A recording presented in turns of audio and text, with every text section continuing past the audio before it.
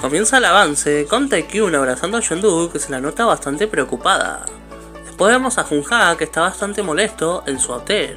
Vemos que la abuela se está acercando un poco más a Yondu, incluso vemos que le guiña el ojo en la mesa a Yondu delante de Taekyun.